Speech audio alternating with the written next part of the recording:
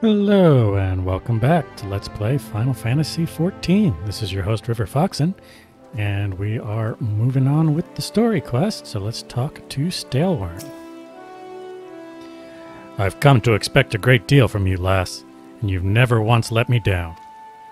Yet, what I'd ask of you now goes beyond aught I've asked before. Would you hear my plea all the same? Right, just desserts. Staelwyrn has reason to believe that Severin is up to no good. Something must be done.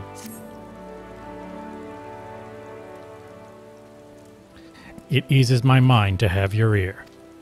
You're no doubt familiar with that scoundrel Severin by now. Well, the scheming scapegrace is at it again. Since that letter came for him, he's been skulking about in that manner he does when he's up to no good. Now he's rounded up his rogues and buggered off, with nary a word to anyone. I've grown accustomed to his insolence, but something tells me this is different. It ain't exactly damning, but when I last had words with him, he didn't look defiant so much as hunted. I can't help thinking he's gone looking for trouble and found more than he wanted. So I was hoping you might hunt his sorry hide down and drag it back here before it's too late. The ungrateful little cur bites me every chance he gets, but I can't quite bring myself to cut him loose. I suppose he reminds me a bit of my younger self. Suffice it to say, I'd rather he didn't come to a sticky end. As for how to find him, I'd say I'd try asking Grinwida at the Aetheryte. She was the last one to see him. I dare say she'll be able to tell you where he was headed.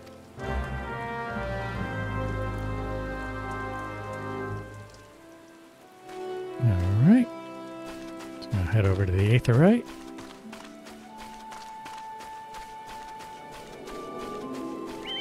And there she is. Nothing that passes through those gates escapes my notice. I saw the Rouser and his rabble set out for Woad Whisper Canyon not long ago, singing about drinking themselves stupider. Chicky sods said I should join them. I told them I'd rather shrivel up than sip whatever it was that had pickled their brains. If you find the idle swine, be sure to give 'em a cuff round the ear from me, will you? Alright, so apparently they went off drinking. So we gotta head over to Woad Whisper Canyon. Let's uh, bring out our pet.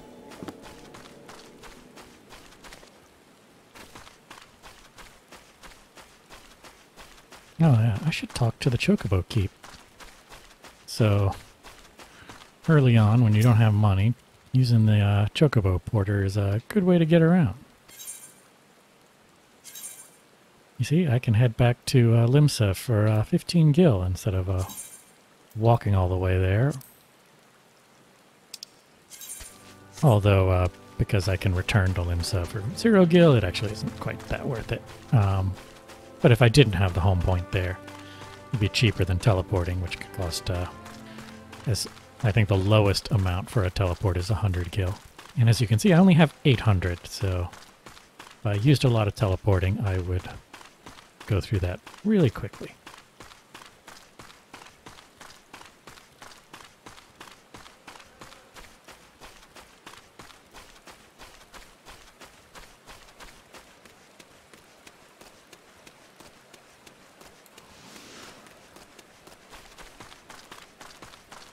Oh, that's a high level creature there, level 50.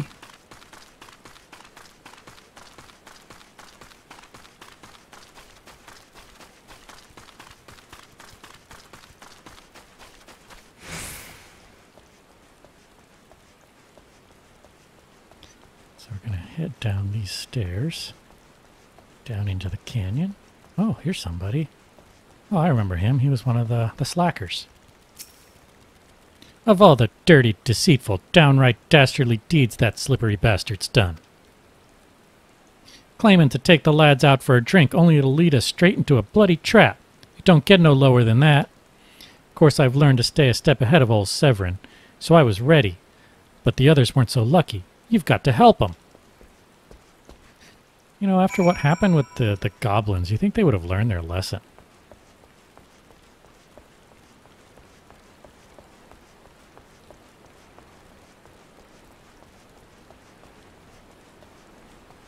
Water sprite. Oh, He seems to have uh, escaped as well. Aramus.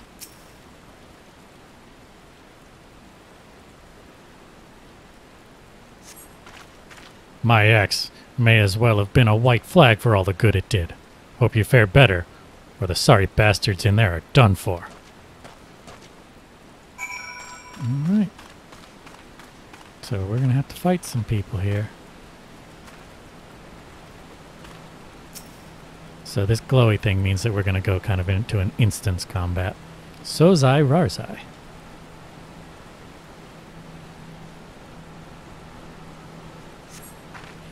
Severin might have got us into this mess, but I ain't about to let him give his life for us. I'd sooner bow to a fishback than be in that conniving bastard's debt. To arms! All right, let's proceed.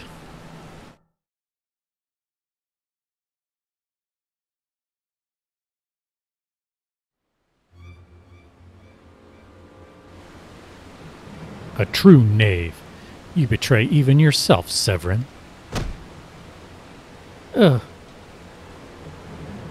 We were prepared to overlook the matter of your desertion on the condition that you provided us with suitable replacements. That was the agreement. Yet your latest change of heart leaves your debt to us unpaid. You are they who betray the Serpent Reavers twice. You will not do so a third time.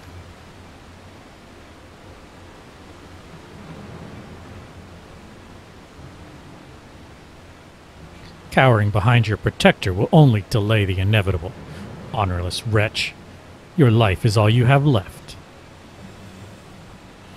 And worthless though it may be, we shall take it.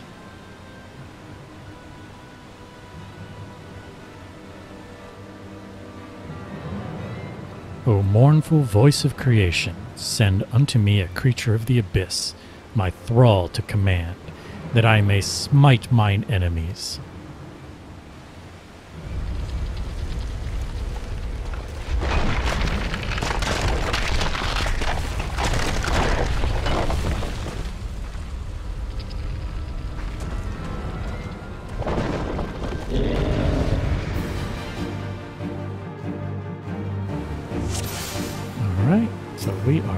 Fighting this thing.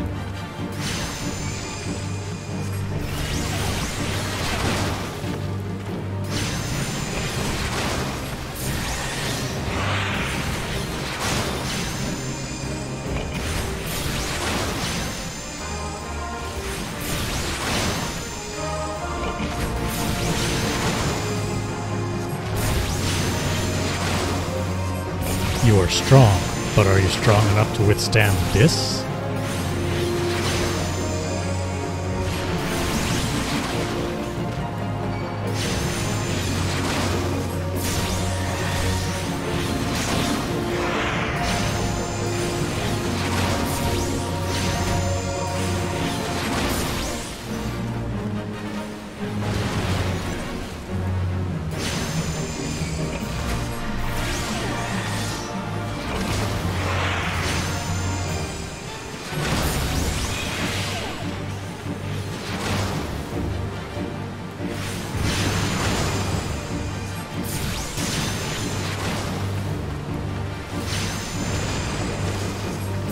Impossible. Never has the golem been so sorely tested.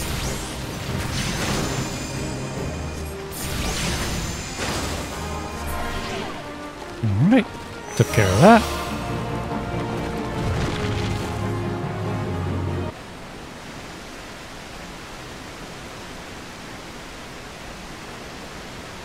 That the golem could be vanquished.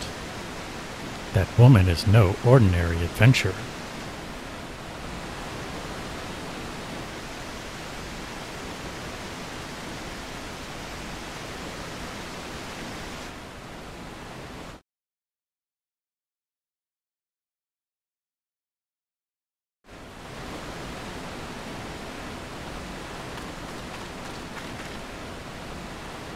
Huh.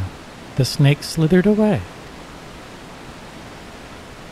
I am only glad he did not have the chance to sink his fangs more deeply into you.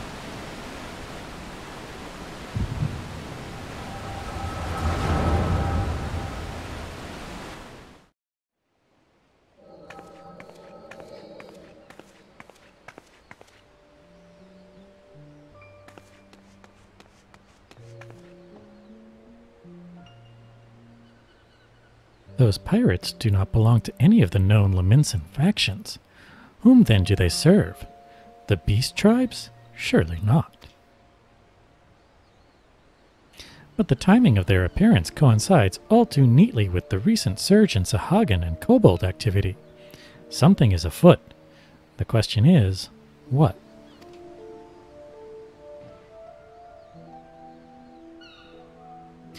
Could it be that the tribes are planning to summon their primals? Twelve, help us if it should prove so. Limsa would be hard pressed to keep a single primal at bay, let alone two. But all is yet speculation. I must needs find evidence.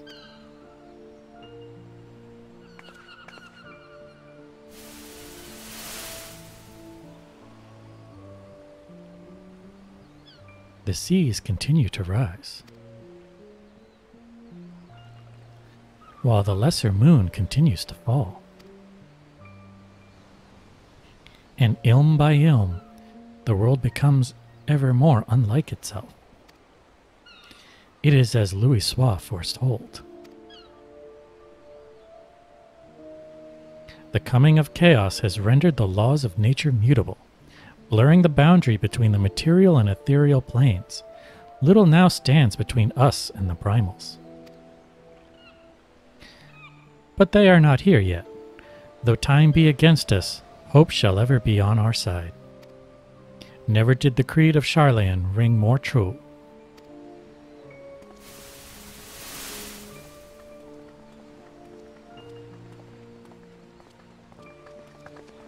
Never did I dream uh, that I would possess the means to see Aether. Yet now that I do, I do begin to take it for granted. How swiftly do the wonders of Sharlayan seem commonplace. Um.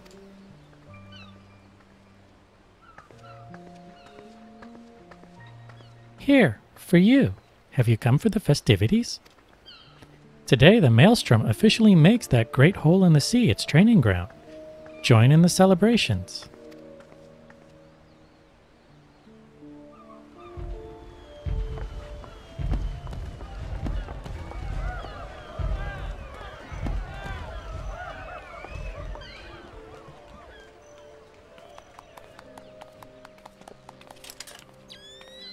Wait, a disturbance in the etheric flow? But whence does it emanate? Sisong Grotto, perhaps?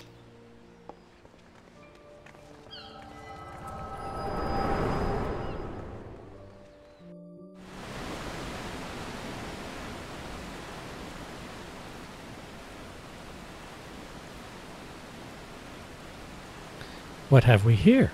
Can you walk?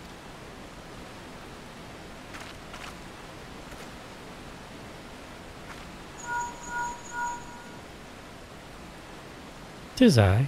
Regrettably, no, he eluded me. Understood. I will inform the Commodore.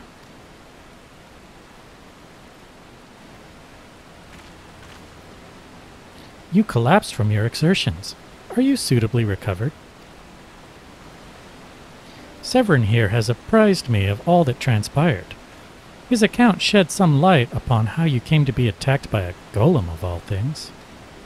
A golem is a mindless automaton, inert save when commanded to be otherwise. Common pirates could not hope to control such a thing, so arcane are its workings. But then these tattooed wretches are no common pirates. They are the minions of the Sahagin. As to their purpose, well, I shall get to the bottom of it. But first I must escort Severin back to his place of employment. I dare say Staelwyrn will be wondering what has become of him. And you too, for that matter. I will bear word of him of your preservation, but I am certain he would like to thank you in person. Pray pay the man a visit.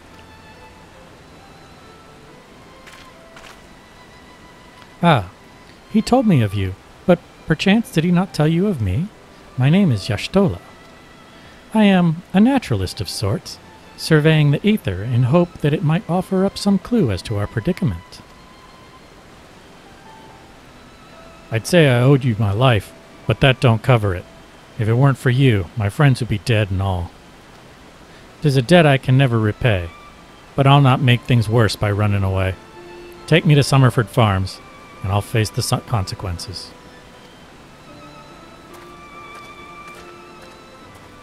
For reasons I cannot fathom, you seem. Forgive me. Mayhap we shall have a chance to speak again when I have marshaled my thoughts. Until our paths next cross, farewell.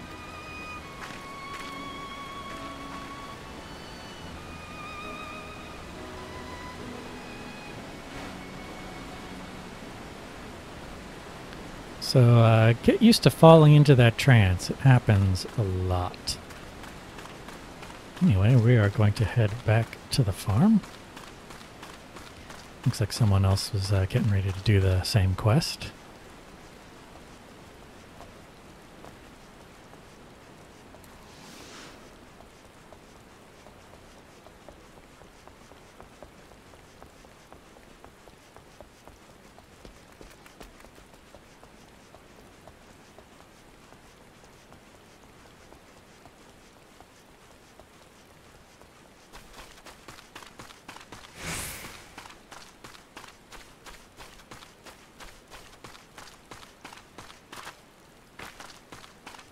Yeah, there it is. Skog's Fru. Well, I'm not going to mess with him right now. He will destroy me.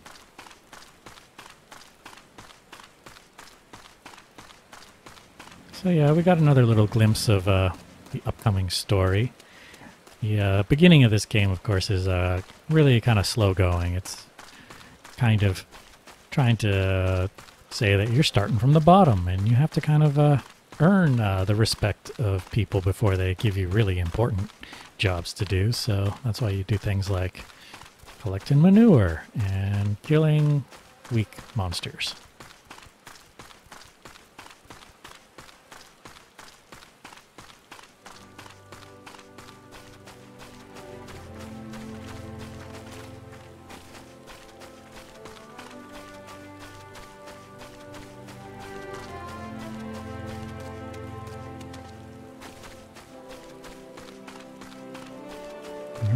Here's Severin. Let's see what he has to say. And yours and all adventure. I've caused more than my fair share of trouble during my time here. Not that you need telling. All right.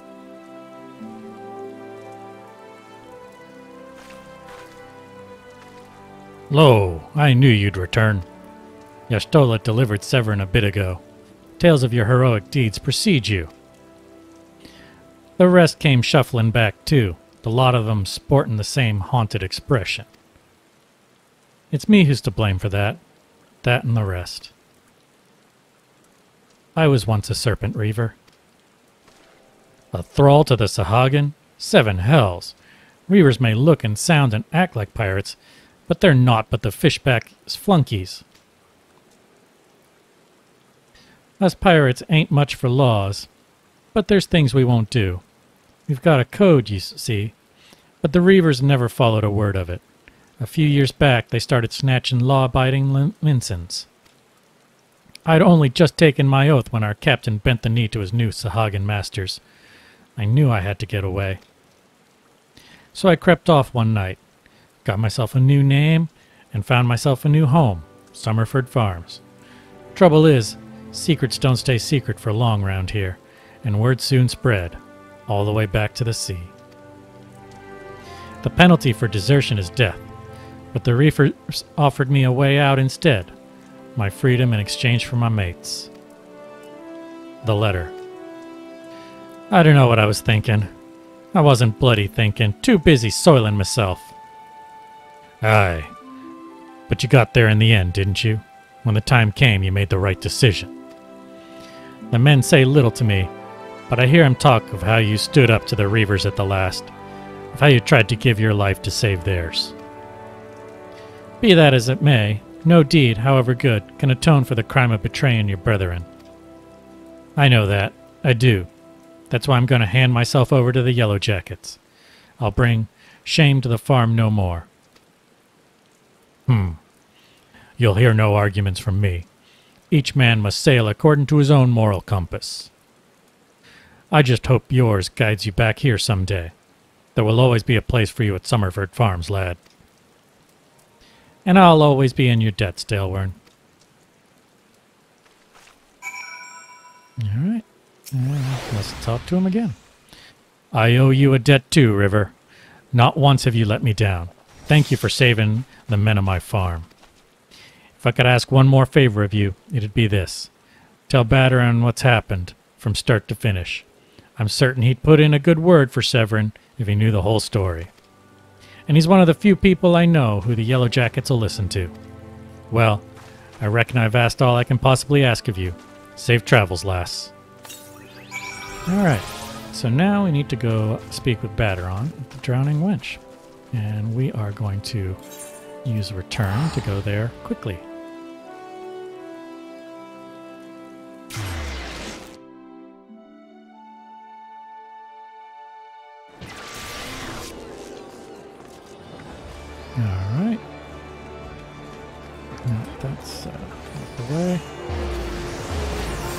Confused around here.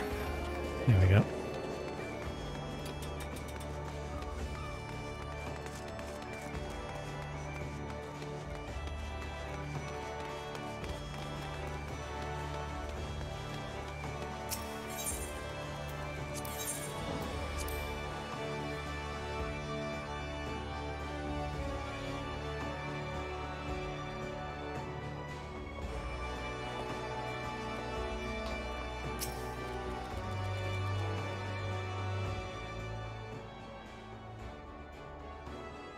Bloody hells. Life on the farm ain't quite how I pictured it. Uh, but you needn't worry yourself over young Severin. The Yellow Jackets, as Anne's out the punishments, is a good mate of mine. If I ask him nice, I reckon he'd be willing to commute the lad's sentence from Angen to Keelhaulin. Kindly gent that he is. I'm only jesting with you. I'll see he's treated fair. Now, it sounds to me like you've done everything old Staelwyrn asked of you, and more, justifying me generous finder's fee in the process. Much obliged, lass. As for a reward, well, she's a lonely lady, this drowning wench of mine. How'd you fancy keeping her company for a spell? With a free room and board. Venturing's a trying business, after all. Them as don't rest their bones every now and again tend to end up with broken ones. And take it from me, fighting ain't nearly so much fun when you're nursing a shattered arm. Got that? Good. There'll always be a free bed for you, so make use of it. Not that you'll have much time for lying around. What with all the leves you'll be doing. Oh, didn't I mention? I'm putting your name down for leves. Our guild draws all manner of clients, offering all manner of odd jobs.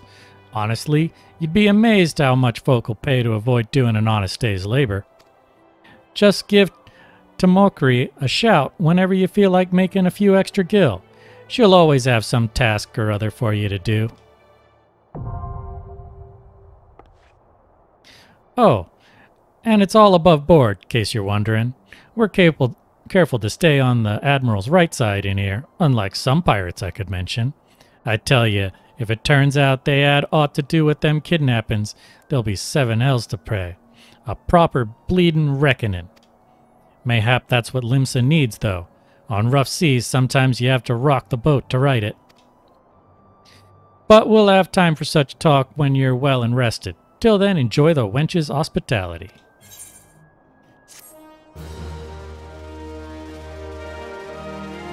Alright, you now have access to recommendations. This feature displays a list of quests or duties currently available in your area. Yep.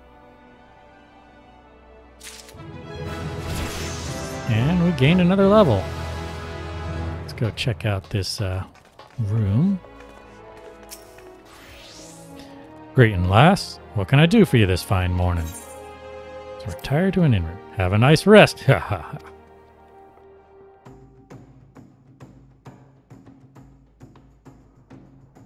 Here is our room. We have crystal bell for, I think that's for, um, you know, if you want to change appearance. Orchestrion will play music, but you have to collect the music.